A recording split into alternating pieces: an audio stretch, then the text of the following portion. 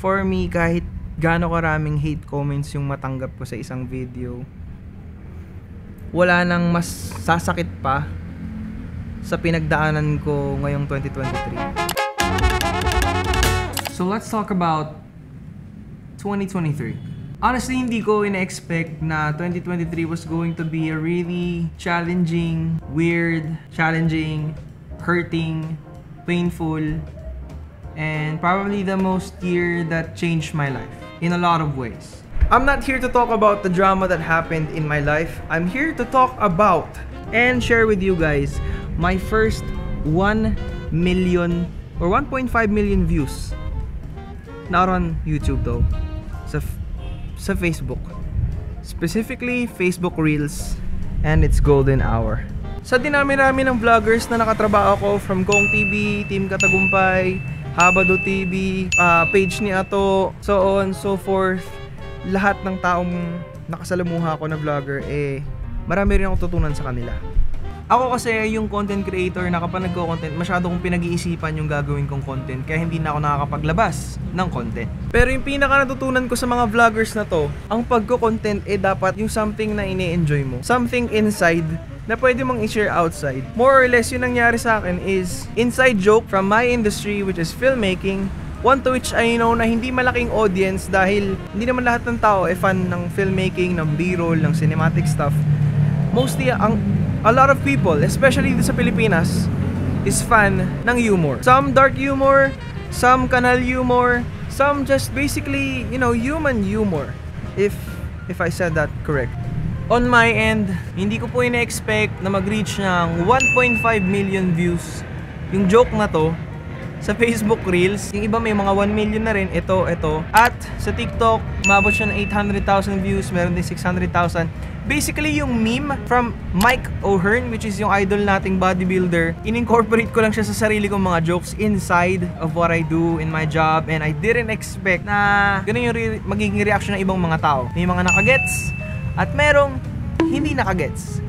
Which is yung mga tinatawag nating random NPCs, non-playable characters, you know, one to which specifically mga dummy account. Not even one person, not even one legit person commented on my video, nag-hate on my video na alam mo talagang maling ginawa ko.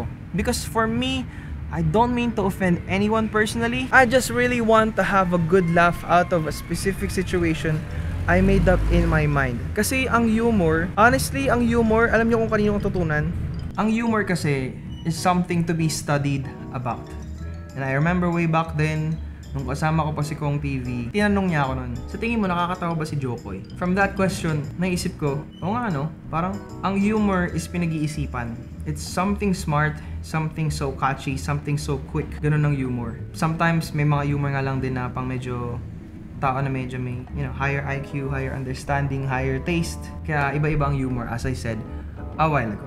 Pero yun nga, grabe nga, grabe talaga, hindi ko ine-expect na sa TikTok, hindi ko na-expect sa TikTok, sa Facebook, at sa Instagram kahit papano, eh magkakaroon na tayo ng views. Sa YouTube, sobrang hirap na hirap ako magkaroon ng views. I don't know why. Siguro dahil hindi ko pa nakakapa yung content na gusto kong gawin. And para kasi sa akin, personal pa rin yung YouTube. Dito ko nilalabas yung mga travel, yung mga cinematic stuff, tsaka para sa mga taong naghahanap dyan ng na, lapag naman po ng gawa nyo, lapag naman po ng mga photos nyo, nandito lahat sa YouTube channel ko and sa YouTube channel ng ibang mga vloggers na nakatrabaho ko.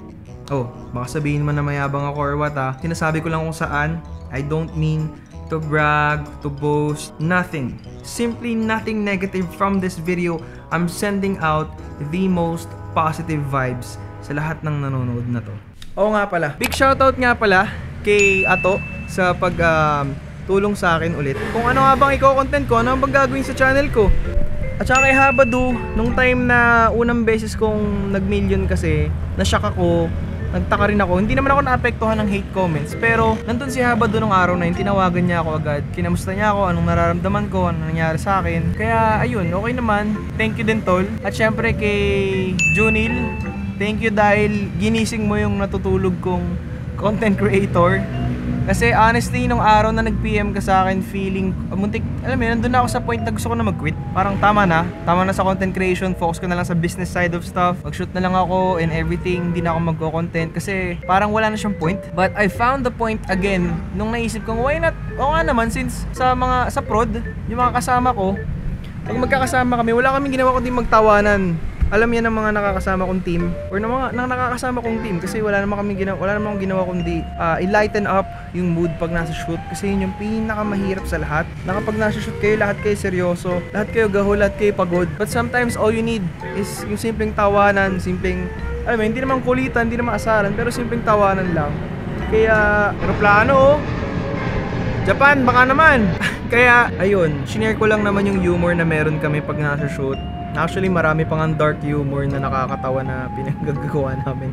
Alam ko kasi yung mga kapwa ko photographers, videographers, yung makaka-relate sa mga joke na pinopost ko. Ang hindi ko na-expect kasi is yung magre-react yung mga masa sa mga hindi naman masa, yung mga NPC like special mentions si Kat Hernandez, Rachel Dison, Arlene, yun, shoutout sa inyo kung napanood nyo man to. Maraming maraming salamat sa pagbigay ng idea sa akin, nag-spark ng idea lalong mag-content. Hindi ko naman sinishame, uh, sinishame yung mga taong nag-hate. Sinishare ko lang naman yung comment nila. May, may, may, may nag-PM pa sa akin na magte-take daw siya ng legal action. Hindi, hindi, dito sa mga binanggit ko ah. Hindi ko na lang babanggitin kung sino, pero ang nakakatawa kasi, paano siya magte-take ng legal action kung yung comment niya naman is public and yun, public. Kinontent ko lang. I mean, wala namang kita pa sa mga videos ko.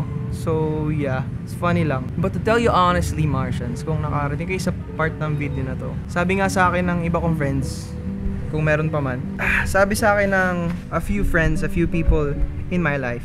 Well, specifically a friend. Buti daw, buti daw kinakaya ko yung mga hate comment kasi uh, soft-hearted siya. Ako, medyo stone cold shit na kasi ako. Pero sometimes kasi, for me, kahit gaano karaming hate comments yung matanggap ko sa isang video, wala nang mas sasakit pa sa pinagdaanan ko ngayong 2023.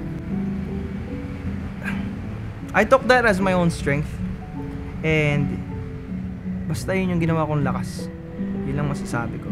Sobrang shit na nangyari ng 2023. Sobra talaga. I mean, there were highs, there were lows, there were betrayals, there were misunderstandings. But honestly, right now, 2024, I left it all behind and I'm happy that you guys are here with me na patuloy lang yung growth natin. And at this very moment, magsushoot pa tayo ng Baby Don't Hurt Me. So, yeah.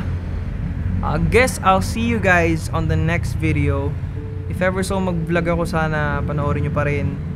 Kasi ako pa rin naman to, si Marco Mars. Um, I'm still gonna do a couple of projects na i-BTS ko, na, na deserve i-BTS. Not all the time kasi kay, pwede ko kayong isama sa shoot. Minsan kasi NDA, so yun. Kaya yeah, don't forget to, um, ano nga ba yun? Sa pagkatapos, that is it for this vlog. Make sure to like, comment, and subscribe. Don't forget to ring the notification bell. Follow nyo rin ako sa TikTok, sa Facebook para notified kayo sa mga Baby Don't Hurt Miss natin. So, I'll see you guys on the next vlog. Peace out!